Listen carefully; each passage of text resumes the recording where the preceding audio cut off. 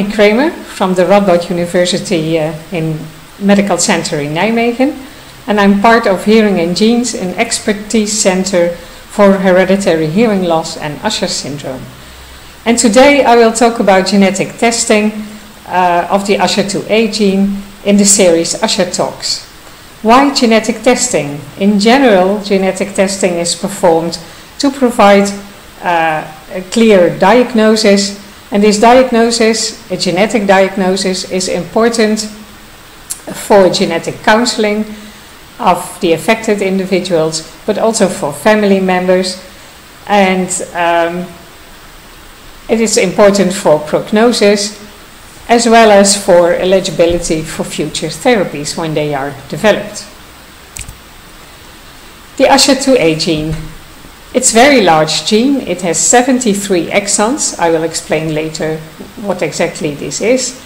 And defects, or we call them also mutations, in the USH2A gene are responsible for 60 to 90% of the cases with Usher syndrome type 2, but also for 5 to 10% of the cases with non-syndromic retinitis pigmentosa. The USH2A gene encodes at least two different USH2A proteins these proteins are also called usherin, but I will call them usher2A proteins. There are two different usher2A protein, two different isoforms. Isoform A, which is the smallest isoform, and this protein only occurs outside of the cells, so it's exported out of the cell after it's made inside the cell. And it consists of protein domains uh, recognizable protein domains that are depicted here as colored disks or colored uh, cubes. Isoform B is much longer and it's with a small part depicted on the right side inside of the cell.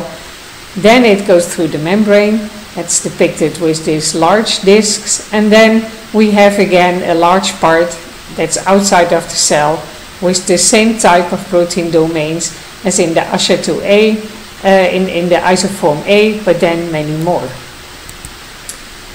But before I tell you more about DNA diagnostics, I will show you something about the basics of uh, how DNA, uh, the code in the DNA, is translated into a protein. So the DNA, or the DNA of genes, consists of exons and introns. Exons are the part that contain the code for the, for the protein, so for the order of the amino acids. The introns um, uh, contain uh, um, DNA sequences, part of which we don't know a function, but it also regulates the, the splicing, as I will show immediately after this, um, um to make a, a good messenger RNA.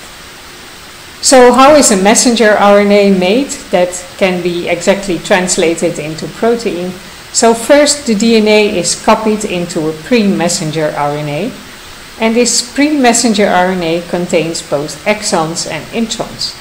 And these introns have to spliced out and that has to be done um, exactly because otherwise the code of the mRNA, the code for the protein will be uh, disrupted.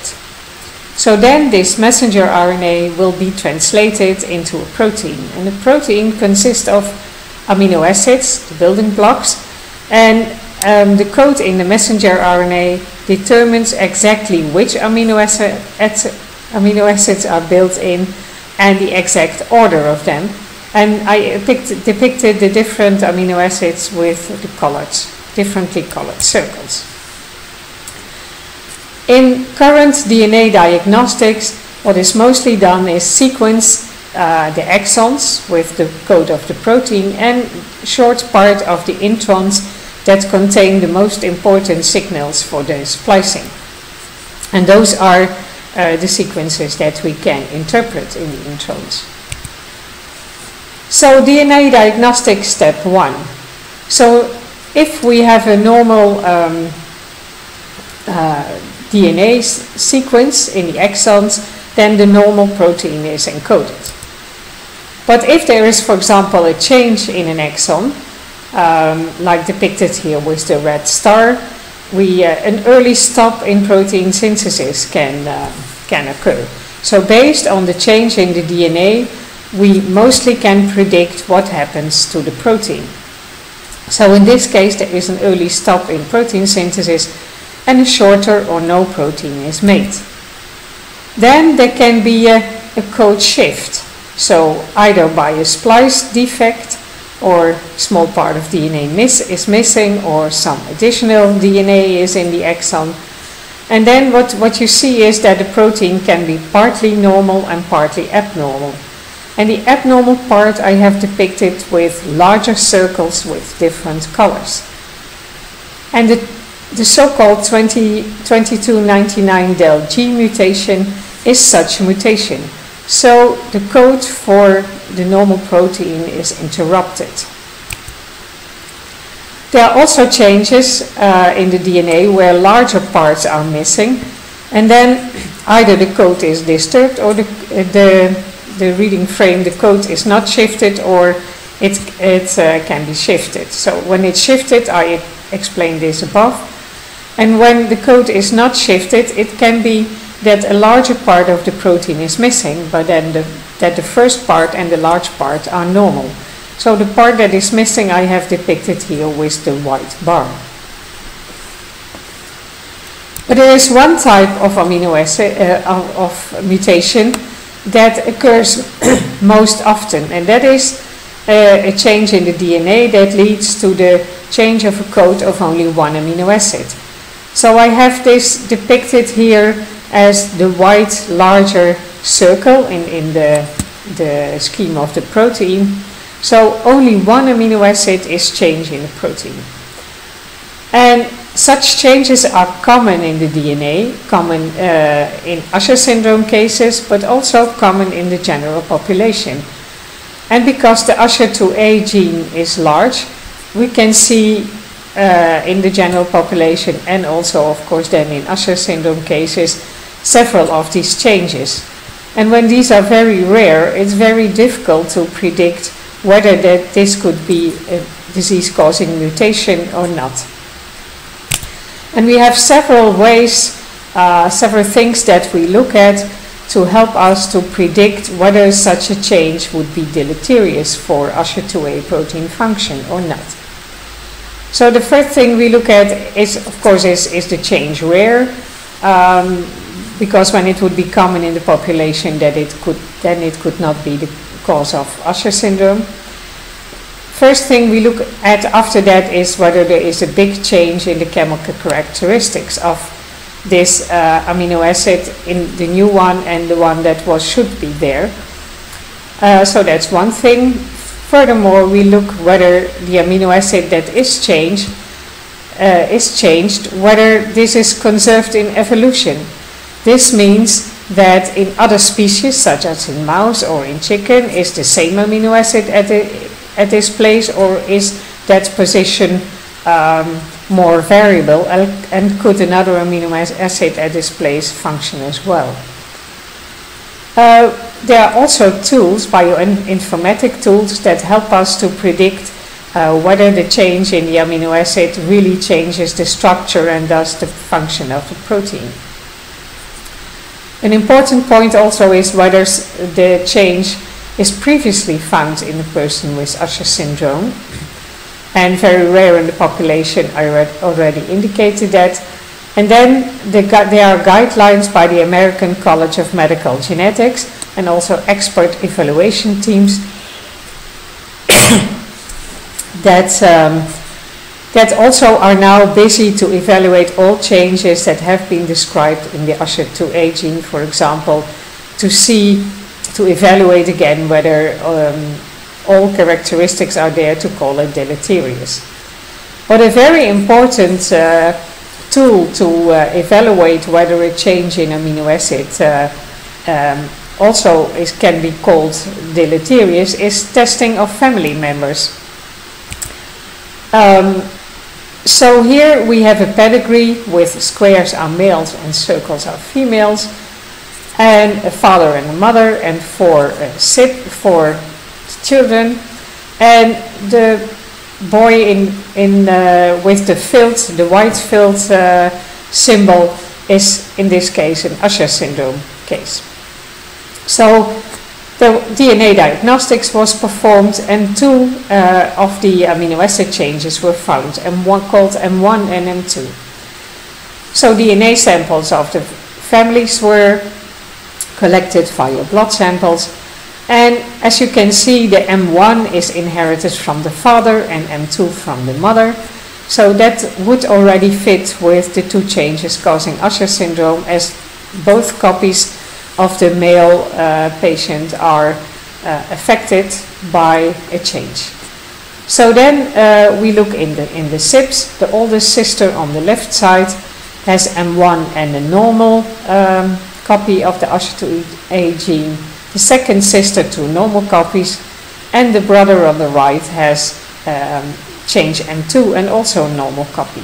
So the segregation of these changes in the DNA would fit uh, with being uh, disease causing. Now I show you a second segregation uh, model of the two variants, same pedigree, but now we see that the sister on the left side, the oldest sister, has the same two changes as the boy with Usher syndrome. And, but she has no Usher syndrome, so this indicates that the two changes cannot explain the Usher syndrome in this boy. So they can be excluded for being causative for Usher syndrome. So this now uh, uh, explains why your uh, family doctor asks for samples, uh, your uh, geneticist asks for blood samples um, of family members to test uh, to confirm that changes or exclude that, cha- that the found changes are causative uh, for the syndrome. So then there is one important type of uh, variance in the USH2A gene left. There still are uh, cases where one with Usher syndrome type 2 where one change is found in the DNA only that could be causative for the disease and the second change in the other uh, copy of the gene is not found or no changes are found at all, although there is a clear uh, Usher type 2. And also in the Usher, Usher 2 genes, no change was found. So then there still can be variants in the non-coding DNA that have an effect uh, on um, the synthesis of the protein. But this is not so easy to uh, uh confirm because this intron DNA, for example, or sequences outside of the gene, they are much more variable than the protein coding sequences. So tests are needed then to prove whether a change that is found in a family and rare or not present in the general population really is deleterious for the function of the USH2A gene. So what, what could such a change in an intron do? So as we have already seen, the pre-mRNA contains both the exons and the introns, and then splicing has to occur in a very exact way. And there are mutations known that uh, lead to the uh, uh, presence of part of an intron, we call this a pseudoexon, in the messenger RNA between the normal uh, exons. One such mutation uh, is uh, found um, already several times. That is the pseudoexon 40, which was found in France, but also in several of the Dutch cases. And the presence of such a pseudoexon can lead, lead to a code shift or co and code changes. And as you can see here depicted by the partly of normal protein and then again a protein with uh, that is much shorter but has several uh, um, aberrant uh, amino acids built in, depicted by the larger circles. But to perform these tests that are needed to prove a deleterious effect, we have to, we need uh, cells of um, of an affected individual that with high active with sufficient activity of the usher2a gene, and the usher2a gene is mainly active in, in the hair cells of the inner ear and in photoreceptor cells of the retina. And poorly in, in many other cells of the body that we could easily, more easily uh, have access to. There is our nasal uh, cells that express the gene, but we could also uh, use skin cells and reprogram them and, and uh, differentiate them into uh, photoreceptor-like cells. But these are very time-consuming and uh, more difficult experiments, so they cannot, they are not generally performed on a larger scale. And also, uh, sequencing of the non-coding DNA is so far not generally performed in genetic testing, but whole genome sequencing, which can be used to analyze these sequences, is more and more being performed. So in summary, I have shown you that protein coding regions of the USH2A gene and flanking regions are analyzed first in DNA diagnostics. DNA changes that only exchange one amino acid are often difficult to interpret, and I have, I have indicated uh, how this is done in the diagnostic process and I've shown you that the next step in DNA diagnostics is the analysis and interpretation of variants in non-coding DNA. So this was my presentation. I hope it was clear to you and has uh, shown you uh, the, the way we perform DNA diagnostics and the difficulties that come with uh, DNA diagnostics of the USH2A gene.